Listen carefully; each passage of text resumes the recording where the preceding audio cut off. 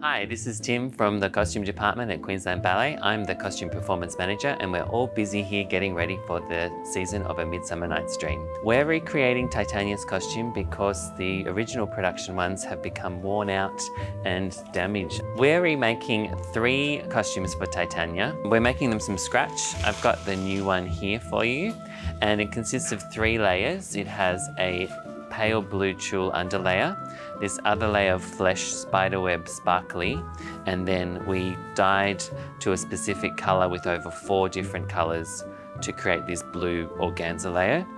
Then we have over a thousand crystals were used on the dress in about six different colours. When we recreate a costume, we consult with the designer's original sketches. The designer for this show was Tracy Grant Lord. We have a Bible that has all the original fabrics. Our very talented costume team had to recreate the pattern. We had to go off the original designs and place each crystal exactly in the spot that the original designer had chosen. Titania has some unique details that separates her from the rest of the fairies. Most of all is she is much more sheer.